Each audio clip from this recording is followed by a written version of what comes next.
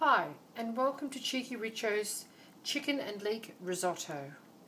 Making it in the ThermoChef today. The ingredients will be in the box below. Let's get started. To the ThermoChef bowl, we're going to add our olive oil and our arborio rice. Our pepper and our veggie salt. And we're going to set the speed to 1, 80 degrees for 2 minutes. Now we're adding our white wine, setting the temperature to 100 degrees on speed 1 for 4 minutes. Add butterfly bar. Now your rice should be nicely coated with the oil and the wine. It's time to add the chicken stock. So with the motor running on speed 1, and the temperature set to 100. We're going to start adding our chicken stock.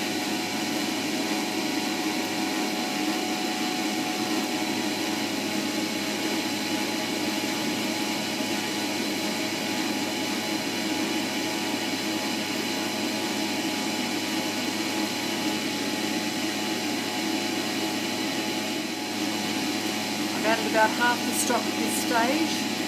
We're going to let it cook for a while to absorb that moisture before adding more. Now the machine has been running for four minutes. We have to make sure that there are no rice grains settled on top of the butterfly bar because they may not cook properly and we have to make sure that there are no rice grains clinging to the edge and the sides of the ThermoChef bowl. We're going to add the remainder of our stock now. Set the temperature to 90 degrees for 11 minutes on speed 1. Now our risotto has been going for the further 11 minutes and it's still really quite soupy and not cooked enough yet.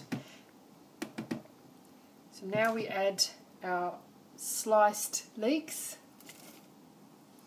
them all in there, our chopped up chicken meat. we have two chicken legs that have been steamed and now we're just going to heat them through while the rice continues to cook. So another three minutes at 100 degrees. On speed one. Our risotto is looking delightful. Silky, rich, we'll just check it for doneness. Mmm, that's good. Okay, now in with our butter.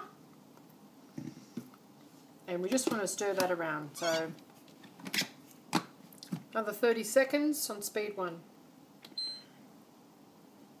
And there you have it, Cheeky Richo's chicken and leek risotto.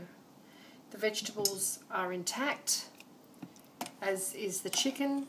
The rice is perfectly cooked. I hope you enjoyed this recipe. Thank you very much for watching.